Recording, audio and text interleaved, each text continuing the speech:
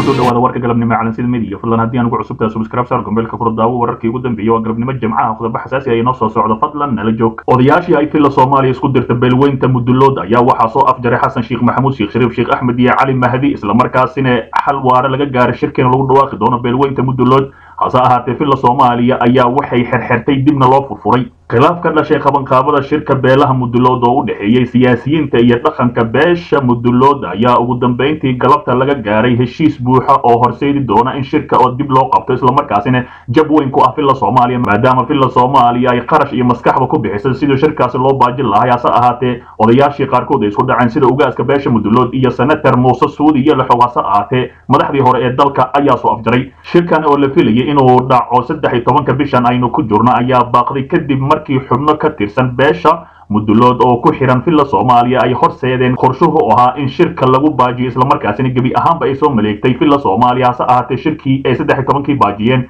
Kulanka waxaa ka qayb galay cali ugaas cabdulle cali mahdi maxamed iyo shariif sheekh axmed xasan sheekh maxamuud muuse suudi yalaxo ugaas maxamuud cali ugaas cabdiqaadir macali nuur cali maxamed geedi ra'iisul wasaarihii hore iyo xubno kale waxaana isku cafiyey ugaaska ugaas maxamuud cali iyo muuse suudi yalaxo hase ahaatee cali maxamed geedi ayaan la ogeyn inay daacad ka tahay islamarkaasina macquul ay tahay siyaasaddan gurguurta oo saaxiibka lahayn inuu isku soo dhiibay beeshiisa ayna tahay lama maarmaan in beeshiisa oo iminka soo dukaashado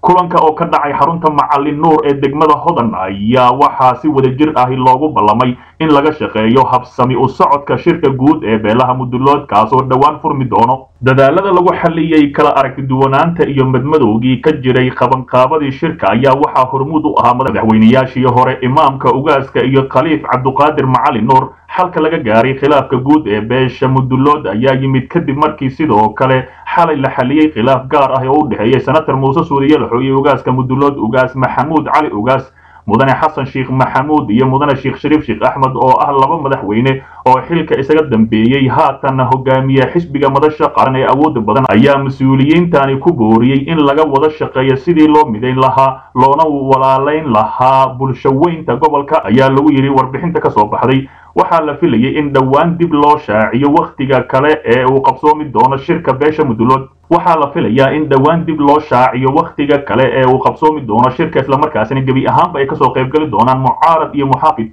Hase ahaatee filla soomaaliya ayaa weli daba taagan islamarkaasina gadaalka xerxeraysa waxa ay furan hase ahaatee markani waa markii ay midoobeen maadaama kala guur la taagan yahay filla soomaaliya dhinaca kale wafdi hordhacahi oo safarka madaxweyne farmaajo oo gaaray magaalada dhuusamareeb iyo wararkii ugu dambeeya ka soo baxaya wafdi la sheegay inay hordhac u yihiin. Safarka madaxweyne farmaajo ayaa gaaray magaalada dhuusamareeb ee caasimada galmudug. Howlwadeenada ka tirsan madaxtooyada filla soomaaliya kooxo qaabilsan habmaamuuska iyo ilaalada gaarka ah ee madaxweynaha ayay ka kooban yihiin wafdigaasi islamarkaasina ciidamo aad u tababaran oo madaxweyne ilaalu ah koofi casta ayaa halkaasi la geeyey beri oo sabdi ah ayaa la filayaa inay magaalada dhuusamareeb ka degaan wafdiga madaxweyne farmaajo ra'iisul wasaare khayre iyo madaxda dowlad goboleedyada hirshabeelle iyo koonfur galbeed oo ka qaybgalaya aaskii ra'iisul wasaarihii hore ee xasan abshir faarax ayaa shalay gelinkii dambe ku soo laabtay magaalada dhuusamareeb madaxda dowlad goboleedyada puntland jubbaland iyo oo garowe kaga qaybgalaya aaskii madaxweynihii hore ee puntland maxamed cabdi xaanshe iyo ra'iisul wasaarihii hore xasan abshir faarax ayaa la filayaa inay berri ku soo laabtaan dhuusamareeb iyadoona madaxweynaha galmudug axmed qoorqoor oo xalay garowe ku hoyday ayaa isna saake ku soo laabtay dhuusamareeb si weyna loo soo dhoweeyey. Si kastaba ha ahaatee dhuusamareeb ayaa waxaa isku haleeli doona axmed madoobe dani iyo madaxweyne farmaajo. Dhinaca kale khilaafkii axmed madoobe iyo wasiir omar oo lagu soo afjaray garowe islamarkaasina xabadka isgeliyeen. Madaxweynaha dowlad goboleedka jubbaland mudane axmed maxamed islaam axmed madoobe ayaa hoteelka uu ka degan yahay magaalada garowe kula kulmay wasiiro ka tirsan dowladda federaalk soomaaliya xildhibaano ka tirsan labada aqal ee baarlamaanka federaalk soomaaliya siyaasiyiin isimo dhaqanka iyo xubno kale. Wasiirka duulista iyo saadaasha hawada ee soomaaliya maxamed cabdilaahi omar iyo wasiirka shaqada iyo arrimaha bulshada ee xukuumadda soomaaliya sadiiq warfa ayaa ka mid ahaa wasiiradii uu la kulmay axmed madoobe. Mas'uuliyiintani ayaa u tagay magaalada garowe ka qaybgalka aaska madaxweynihii hore ee puntland iyo ra'iisul wasaarihii hore ee soomaaliya oo halkaasi ka dhacay labadii maalmood ee la soo dhaafay wasiir omar oo ay isku heb yihiin axmed madoobe ayaa ka mid ahaa wasiirada dowladda federaalk soomaaliya ee xanibaada socdaalka iyo duulimaadyada ku soo rogay magaalada kismaayo intii lagu guda jiray doorashadii axmed madoobe ee ka dhacday kismaayo ee dowladda diiday. Dowladda soomaaliya ayaa dhowaan shaacisay inay axmed madoobe u aqoonsatay madaxweyne kumeel gaar ahi ee jubbaland iyadoona horay u diiday inay aqoonsato dib doorashadiisa inkastoo axmed madoobe oo ku gacan sayray uuna sheegay inuu ahayn kumeel gaar balse uu yahay madaxweynaha rasmiga ah ee jubbaland islamarkaasina uu iminka xabad ka garaacanayo. Si kastaba ahaatee madaxweyne farmaajo in muddo ah diidayay cunaqabateen xooganna saaray kismaayo sidoo kale gedo soo geliyey ciidamada dowladda federaalk soomaaliya ciidamo etoobiyaan ahi ayaa beesha caalamka dhegta dhiigga u dartay islamarkaasina waraaqad uu soo saaro ku aqoonsaday madaxweyne kumeel gaar ahi. Islamarkaasina axmed madoobe ayaa yidhi ma ahi kumeel gaar ee waxaan ahay madaxweyne buuxa xog xasaasi ah khilaaf xoogan oo soo kala dhexgala villa soomaaliya islamarkaasina loo aanaynayo ra'iisul wasaare kheyre iyo madaxweyne farmaajo islamarkaasina siyaasadda ku kala qaybsamay hase ahaatee villa soomaaliya oo abaabul wadda iyo kheyre oo lagu kiciyey qaar ka mid ah wasiiradiisa islamarkaasina siyaasadda dalka oo washwash ahi. Waxaa bannaanka u soo baxay khilaafka ugu adkaa uguna weynaa oo afar sano kadib soo kala dhex galay madaxda ugu sarraysa dowladda federaalk soomaaliya gaar ahaan villa soomaaliya khilaafkani ayaa u dhexeeya madaxweynaha ra'iisul wasaaraha iyo guddoonka baarlamaanka federaalk soomaaliya master mursal waxaana uuna saameeyey hay'adaha fulinta iyo golaha baarlamaanka federaalk soomaaliya warar lagu kalsoon yahay oo ay heshay calansida media ayaa sheegaya in habeen hore xildhibaanada la kulmay madaxweynaha ay ku jiraan wasiiro ka tirsan xukuumadda kheyre ayna ka soo horjeedaan qorshaha ra'iisul wasaaraha ee ah in loo laabto doorasho dadban islamarkaasina uu ku raaco madaxda maamul goboleedyada dalka iyo mucaaradka intiisa kale. Villa soomaaliya ayaa abaabulaysa in baarlamaanka iyo wasiiradaba